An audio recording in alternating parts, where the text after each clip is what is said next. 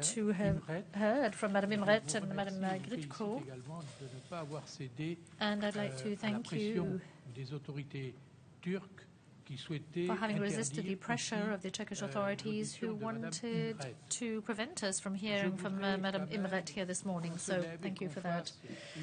And I think we should stand and applaud these two women who um, honor democracy and this Congress.